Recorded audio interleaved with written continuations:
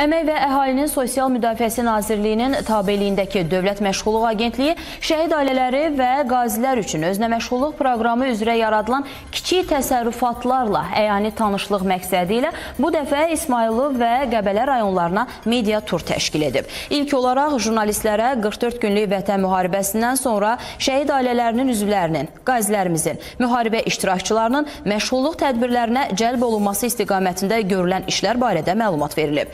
Qeyd edilib ki, post-müharibə dövründə həmin kateqoriyadan olan 5420 şəxs özünə məşğulluq proqramına cəlb edilib. 2250 nəfər münasib işlərlə təmin edilib. Şəhid ailəsi üzvləri və qazilərin məşğulluğuna dəstək məqsədi ilə başlanan məşğulluq marafonuna artıq 569 işə götürən qoşulub və 3302 vakansiya təqdim edilib. Həmin vakansiyalar üzrə artıq 1033 şəhid ailəsi üzvü və qazi işlə təmin olunub. İsmayıllı və Qəbələ rayonlarında rayonunda da bu sahədə mühüm işlər aparılır. Qeyd edək ki, İsmayıllı və Qəbələ rayonu üzrə bu il 500-ə yaxın şəxs özünə məşğulluq proqramına cəlb edilib. Onlardan böyük bir hissəsi şəhid ailəsi üzvləri və qazilərdir.